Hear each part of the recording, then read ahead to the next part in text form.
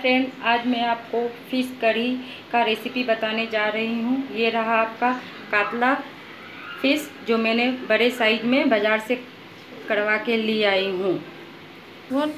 अब मैं इसे मैरिनेशन करने जा रही हूँ। ये बोल में डालने के बाद इसमें मैं पहले हल्दी डाली। फिर इसमें थोड़ा सा लाल मिर्च का पाउडर, फिर थोड़ा सा स्वाद अनुसार नमक। बस इसे मैं हल्की हाथों से इसे राउंड करके कि पूरा फ़िश में मसाला अच्छी तरह मिक्स हो जाए। अब इसे मैं 10 मिनट के लिए छोड़ दूँगी। अब मैं कढ़ाई को चढ़ा दी हूँ, जो गरम हो चुकी है। अब मैं इसमें सरसों का तेल डाल रही हूँ, फ़िश को फ्राई करने के लिए, जो तेल थोड़ा सा ज़्यादा ही लगेगा।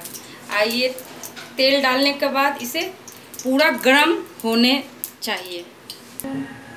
अब ये तेल पूरा ही हाई फ्लेवर में गरम हो चुका। अब गैस को कम करके, जो फ़िश मैंने पहले से करके रखी हूँ, इसे मैं डाल रही हूँ। थोड़ा सावधानी से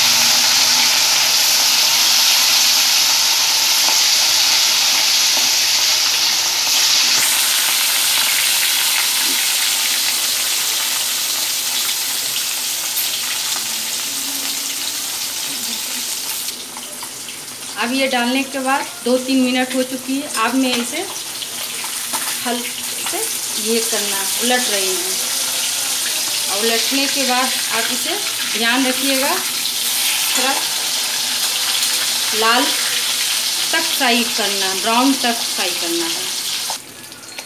अब ये फ़िश क्रिस्पी ब्राउन हो चुकी है। अब मैं इसे एक साइड निकाल के रख ले रही हूँ और आगे का जो प्रोसेस है, वो करूँगी।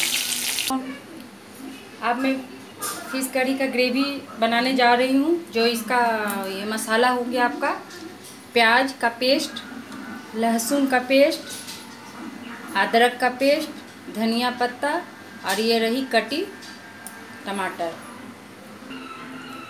जो मैंने फ़िश फ्राई की थी, वो तेल बची हुई। उसी में मैं ग्रेवी बनाने जा रही हूँ। पहले मैं इसमें सरसों डाल रही हूँ। सरसों जब चटक जाएगी, एक तेज पत्ता। उसके बाद ये रहा प्याज का पेस्ट। ये रहा आपका लहसुन का पेस्ट। ये रहा आपका अदरक का पेस्ट।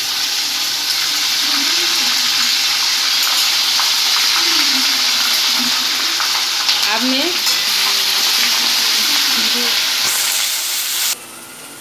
एक चम्मच जीरा पाउडर। एक चम्मच धनिया का पाउडर। हल्दी। और ये रही लाल मिर्च का पाउडर, जो आपको जैसा तीखा पसंद है। और उसके बाद ये रही आप नमक, स्वाद अनुसार। अब इसे मैं हल्की आँच पर पाँच मिनट तक फ्राई करूँगी। पाँच मिनट फ्राई होने के बाद ये देखिए आपका मसाला। अब उसके बाद जो मैं कटी हुई टमाटर डाल रही हूँ, और उसके बाद धनिया पत्ता। अब इसे दो से तीन मिनट तक और फ्राई करनी है बस। ये देखिए आपका मसाला बहुत अच्छी तरह फ्राई हो चुकी है, जो तेल भी छोड़ रही है। अब इसमें मैं एक से दो कप पानी डालूँगी।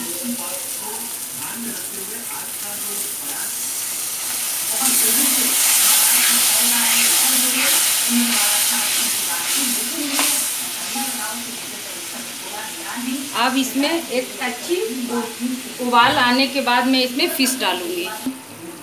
ये देखिए ग्रेवी अच्छी तरह बॉईल हो रही है। अब मैं इसमें जो पहले फ्राई किया हुआ डाल रही हूँ मछली।